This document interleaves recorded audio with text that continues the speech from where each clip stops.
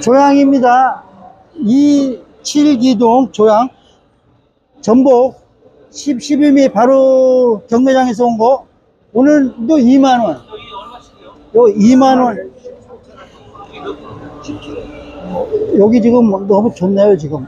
이거 한번 보여드릴게요. 이게 2만원 10, 11미 짜리. 예, 전복은 뭐 어디 가시는 것보다 여기 오시면 훨씬 이렇게 좋을 겁니다. 어, 유튜브 보고 오셨다고 하시면 돼요. 그 다음 얼마라고 했어요? 오늘 15,000원. 그 다음에 요거는 13,000원. 요거는 15,000원.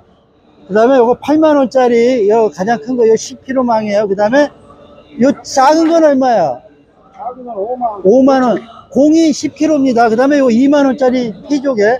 요 굉장히 좋은 거예요. 이게 항상 같은 거 같이 이렇게 보이는 재고로 생각하시는데 재고가 절대 아닙니다. 그 다음에 이게 만원짜리, 만원짜리 꼬막 14 홍어 전문점입니다. 홍어 전문점. 어, 여기 은갈치 갖다 놨는데 요건 가성비적인 거네요. 요건, 요거, 요거 얼마나 그랬어요, 사장님? 뭐가 어제 2만원, 오늘, 오늘은 뭐 특별히 이거 15,000원에 하는 거예요. 한 박스? 몇 미짜리인데 20미짜리 같네요. 가성비, 할머니 백반집에서 가장 맛있게 해주시는, 어, 갈치입니다. 그 다음에, 이 젓가자미 요거는 굉장히 요, 큰 거네요. 요거가, 젓가자미 아까 이거 4만 원이라 그랬네? 4만 원. 예, 그 다음에 요 병어는, 병어 한 번만 이렇게 할게요. 18,000, 이거 18,000원에 이거 횟감이 안 되나? 10마리? 횟감이 되는데 18,000원이라고? 굉장히 좋네요, 시세가. 예.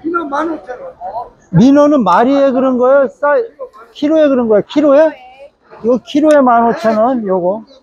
예, 민어가 아직 비쌀 때고. 그 다음에 청어 이건 얼마야? 8,000원.